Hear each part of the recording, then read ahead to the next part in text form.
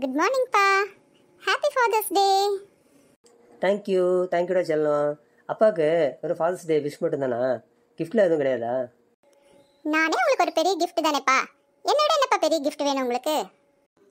அப்படி சொல்லுடி என் செல்லமே. எப்படி மடக்குனா பாருங்க என் பொண்ணு உங்களை. ஆமாம் ஏதாவது சுட்டியாக பேசிட்டா உன் பொண்ணு. ஏடா கூடமா பேசினா என் பொண்ணு. அடாடா இந்த பொம்பளைங்க எல்லாம் ஒரே மாதிரி இருக்கீங்களாப்பா.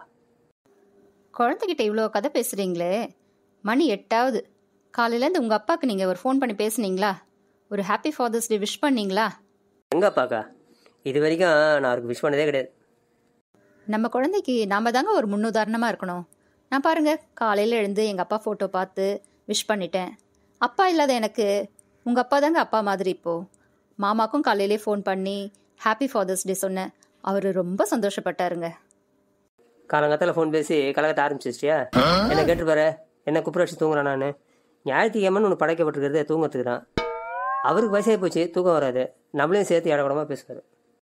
உலகத்தில் இருக்க எல்லா பிள்ளைங்களுக்கும் அப்பானா வில்லன் தான். அப்பாவை குறை சொல்லுனா உங்களுக்குலாம் தூக்கமே வராதே. எங்களுக்கெல்லாம் ஹீரோவா தெரிகிற அப்பா உங்களுக்கெல்லாம் மட்டும் எப்படிங்க வில்லனா தெரியுறாங்க? நீங்கள் மட்டும் ஒரு ஃபோன் பண்ணி அவரை மனசார ஒரு தடவை விஷ் பண்ணி பாருங்க. அவர் எவ்வளோ சந்தோஷப்படுவார் தெரியுமா? ம் சந்தோஷப்படுவார். சந்தோஷப்பட மாட்டார். சந்தேகம் தான் படுவார். என்னடா திடீர்னு ஃபோன் பண்ணியிருக்க காசு ஏதாவது வேணுமான்னு கேட்பாரு அதெல்லாம் கேட்டாலும் கொடுத்துருவாரு. நான் தான் கேட்கறதில்ல அம்மா நீங்க ரெண்டு பேரும் என்னவோ பேசுறீங்க. எனக்கு ஒண்ணுமே புரியல. சரி என் ஃப்ரெண்ட் வெயிட் பண்றா. நான் போய் விளையாட போறேம்மா. சரிம்மா பத்திரமா போய் விளையாடிட்டு சீக்கிரம் வா. என்ன? ஆ எங்கே விட்டோம் ஆ காசு கொடுத்தா அப்பா ஹீரோ கொடுக்கலனா வில்லனா?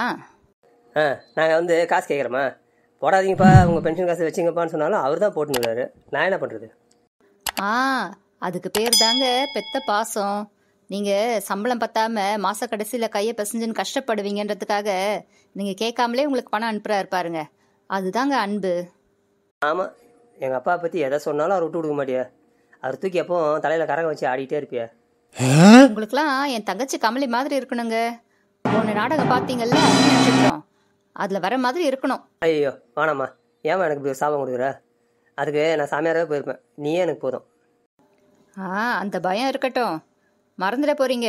அப்பப்போ ஞாபகமா அக்னி நட்சத்திரம் கதையை பார்த்துக்கோங்க. உன் தங்கச்சியோட ஆட்டத்தை பார்த்தவங்களுக்கு இன்னும் தூக்கம் வரலையா? பார்க்காதவங்க பார்க்கட்டும்.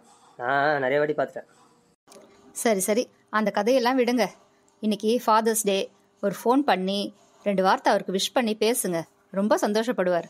வேற என்ன எதிர்பார்க்குறாங்க வயசானவங்க நம்ம கிட்ட அன்பா நாலு வார்த்தை. அதானே வேற என்ன இருக்கு? ஆ நீ சுலபமாக சொல்லிட்ட.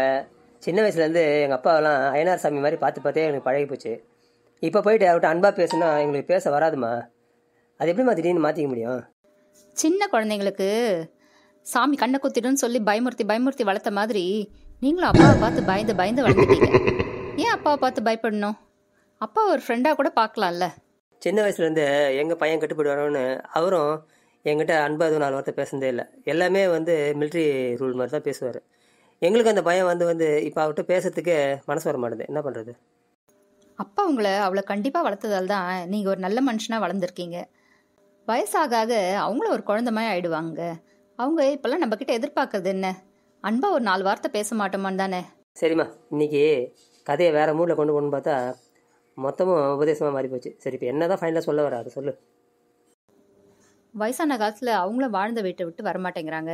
நாமளும் வேலை விஷயமா வேறு வேறு ஊரில் இருந்து கஷ்டப்பட்டுட்டு இருக்கிறோம். என்ன பண்ணுறது சொல்லுங்கள் இந்த நிலைமையில நம்ம ஃபோனில் தானேங்க பேச முடியும். ஒரு நாளைக்கு அட்லீஸ்ட் ஒரு ரெண்டு தடவையாவது ஒரு ஃபோன் பண்ணி என்னப்பா சாப்பிட்டீங்களா? எப்படி இருக்கீங்க? ஒரு ரெண்டு வார்த்தை பேசுனா அது அவங்களுக்கு எவ்வளோ ஆறுதலாகவும் சந்தோஷமாகவும் இருக்கும். நெருப்புனா வாய் சுற்றாதுங்க. இருக்கும்போது நம்ம பெற்றவங்கள கவனிக்காம அவங்க போனப்புறம் ஃபோட்டோக்கு மாலை போட்டு இலை ஃபுல்லாக அவங்களுக்கு இது பிடிக்கும் அது பிடிக்கும்னு வச்சு சாமி கும்பிடுறதுல என்னங்க இருக்கு? நம்ம இருக்கும்போதே அவங்களுக்கு ஒரு ஃபோன் பண்ணி ஒரு ரெண்டு வார்த்தை அன்பா எப்படிப்பா இருக்கீங்க சாப்பிட்டீங்களா? என்ன பண்ணுறீங்க பேசினா அது அவங்களுக்கு எவ்வளோ சந்தோஷமா இருக்கும். உலகத்திலே பெஸ்ட் அட்வைஸ் எதுனா யாருக்குமே அட்வைஸ் பண்ணாமல் இருக்கிறதாங்க. இருந்தாலும் வேற என்ன பண்ணுறது அட்வைஸ் பண்ணுற சூழ்நிலையில் இருக்கிறேன். அப்பா இல்லாத எனக்கு தான் அப்பாவோட அருமை தெரியுங்க. எதுவுமே இருக்கும்போது அதோட அருமை நமக்கு தெரியறதில்ல. அதை இழந்தப்புறம் தான் நம்ம அதை நினச்சி கஷ்டப்படுறோம்.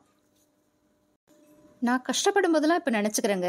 கஷ்டமே தெரியாமல் வளர்த்த என்னோட அப்பாவை.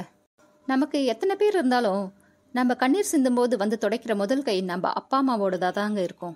நம்ம வளர்ச்சியை பார்த்து சந்தோஷப்படுற ஒரே ஜீவன் நம்ம அப்பா அம்மா தாங்க. சரி சரி. இன்னைக்கு ரொம்ப எமோஷன் ஆகிட்டேன் இந்த பெண்களே அப்படி தான் ஒன்று கோவப்படுறீங்க இல்லை எமோஷன் ஆகிறீங்க இல்லை அழுகுறீங்க சரி சரி. சொல்லி சொல்லி.